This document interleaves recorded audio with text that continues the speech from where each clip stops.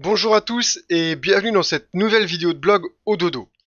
Alors comme les deux précédentes, euh, on va se concentrer sur le décortiquage des dernières annonces du gouvernement euh, liées aux aides pour les entreprises. Et donc euh, pour ceux qui découvrent cette vidéo, au dodo, notre spécialité c'est d'accompagner les gens qui sont des professionnels de l'hébergement. Donc si vous n'êtes pas dans ce cas-là, ça va pas vous concerner directement, bien que certaines informations peuvent être quand même intéressantes pour votre entreprise. Donc il s'agit de vous si vous êtes euh, propriétaire de maisons d'hôtes, de gîtes, euh, loueur meublé non professionnel ou que vous avez un petit hôtel familial euh, et que vous avez des salariés. Tout ce que je vais vous dire, ça vous concerne directement. Ok. Donc on va euh, découper cette vidéo en trois parties.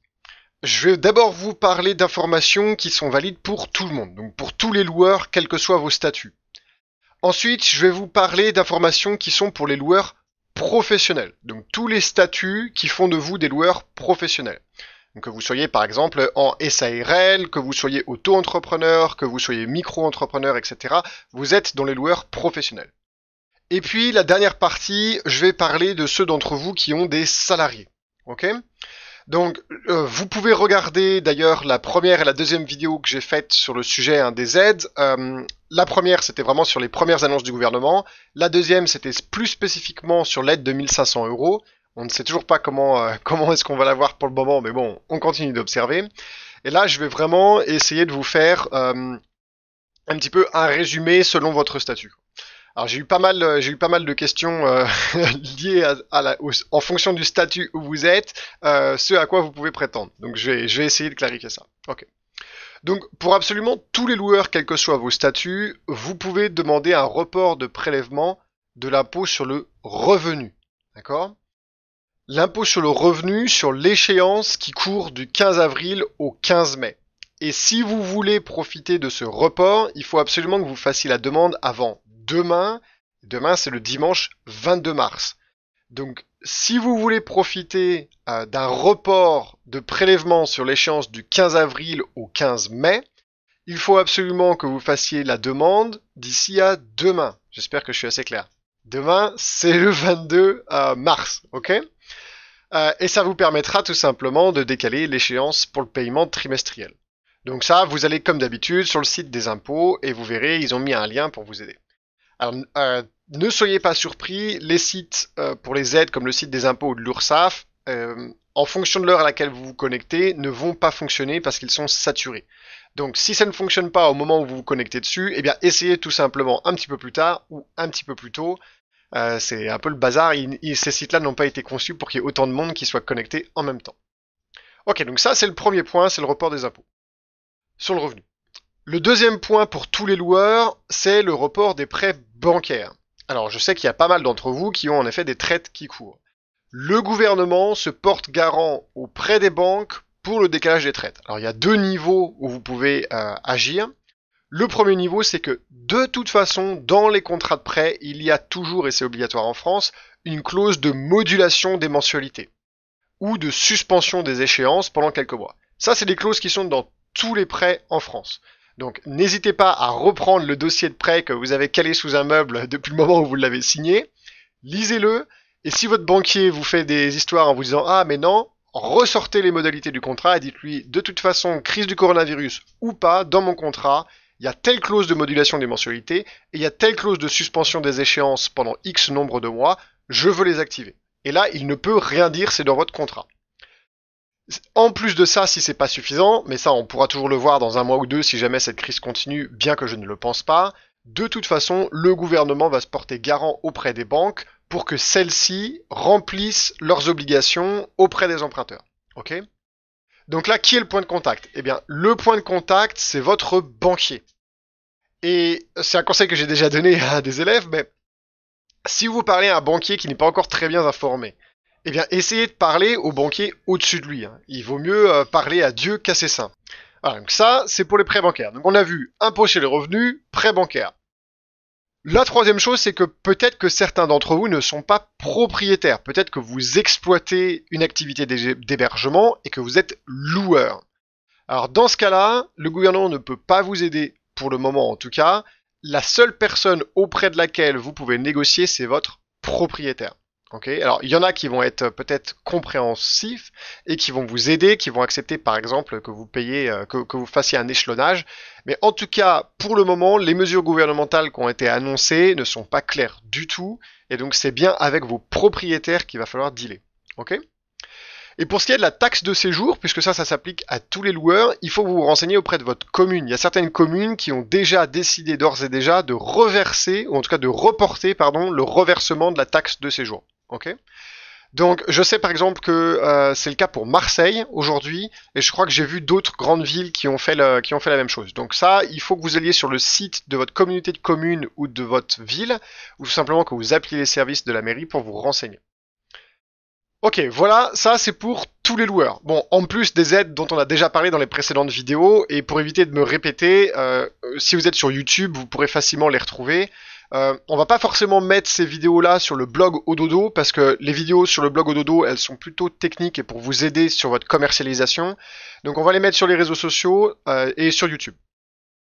Ok, pour les loueurs professionnels. Donc tous les statuts qui font de vous des loueurs professionnels. Ok?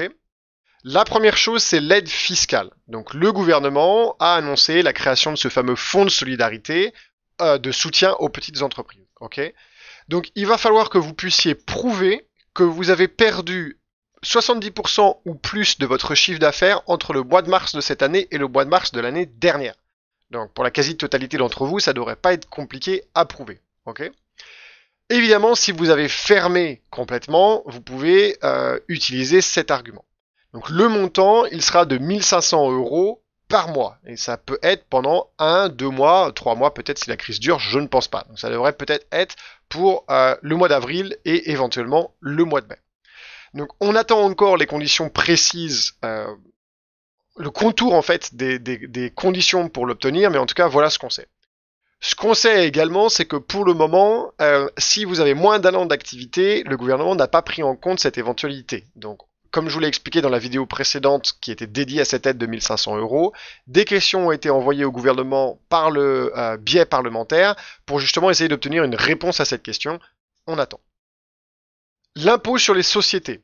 Donc, tous les loueurs professionnels, vous pouvez faire opposition au prélèvement de la compte. Euh, enfin, vous pouviez faire euh, opposition au prélèvement de la compte du 15 mars si je vous l'avais expliqué dans la vidéo précédente, et vous allez pouvoir faire opposition au prochain prélèvement d'acompte. Ok? Si c'est trop tard, par exemple pour le prélèvement du 15 mars, du 15 mars pardon, vous pouvez faire une demande de remboursement en contactant le service d'impôt des entreprises de votre localité. Alors, allez sur Internet et regardez de quel centre d'impôt vous dépendez, c'est eux qu'il faut contacter. Donc ça, c'est vraiment pour l'impôt sur les sociétés. Après, il y a évidemment la taxe foncière et le CFE. Donc, vous pouvez demander la suspension des mensualisations. Donc, pareil, là, il faut contacter le service des impôts. Et puis après, vous avez les cotisations sociales des micro-entrepreneurs. Donc là, vous pouvez modifier le montant déclaré au titre de février pour le mettre à zéro. Et on pourra certainement faire la même chose pour mars et du coup euh, éviter le prélèvement des cotisations. Donc je répète ça parce que c'est pas forcément euh, évident pour tout le monde.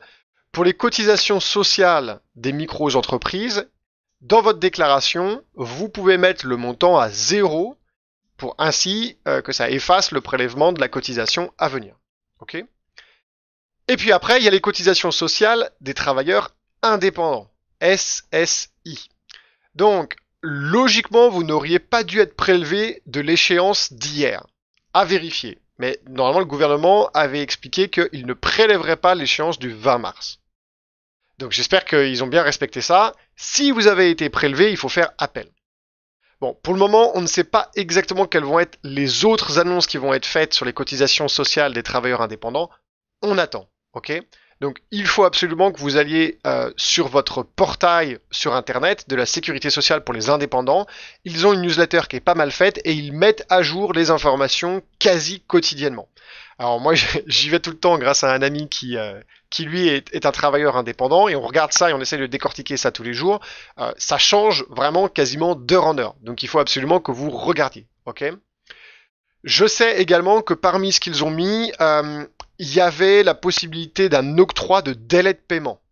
Donc euh, peut-être que vous n'allez pas pouvoir euh, supprimer ces cotisations, ça je pense que ce ne sera pas le cas de toute façon, mais vous allez pouvoir avoir un délai de paiement euh, sans qu'il y ait de majoration ou sans qu'il y ait de pénalité, ce qui va vous permettre de faire tout un, un étalement en fait. Ok, donc là on a fini sur le chapitre loueur professionnel. Maintenant le dernier chapitre c'est pour les loueurs qui emploient un salarié. Donc vous avez déjà entendu l'annonce du gouvernement et après ils ont fait un petit rétropédalage. Alors quelle était l'annonce du gouvernement? L'annonce du gouvernement était que si vous aviez à mettre des salariés en chômage technique, euh, le salarié percevrait 70% de son salaire brut horaire, ce qui correspond à peu près à 84% de son salaire net, et que vous en tant qu'employeur, vous serez remboursé par l'État de l'équivalent. Et euh, hier, le gouvernement a dit oh là oh là oh là, stop, on revient un petit peu sur cette mesure parce qu'il y a trop d'entreprises qui abusent. Alors, qu'est-ce que ça veut dire? Ça veut dire simplement que les entreprises qui peuvent faire continuer à travailler leurs salariés en télétravail ou d'une autre manière doivent le faire. Tout simplement parce qu'il y a plein d'entreprises qui ont commencé à abuser de ce mécanisme. Nous ne sommes pas concernés bien évidemment dans le tourisme parce que de par la force des choses, euh, eh bien, on ne peut pas faire travailler nos salariés, ou en tout cas, on va être obligé d'en mettre pas mal au chômage, euh, au chômage partiel pendant cette période. Donc, nous, dans le tourisme, et je me suis entretenu avec mon expert comptable euh, à ce sujet-là, on n'aura aucune difficulté à faire valoir le fait qu'on a dû mettre au chômage partiel nos salariés du fait du coronavirus. Donc ça veut dire que pour vous, vous pouvez les mettre, et là il faut vous rapprocher de votre expert comptable, c'est lui qui va vous aider à mettre en place ce mécanisme. Vous pouvez, si vous en avez besoin, mettre au chômage partiel un salarié. Ce salarié va toucher 70% de son brut, donc ça veut dire à peu près 84% de son mensuel net. Ok?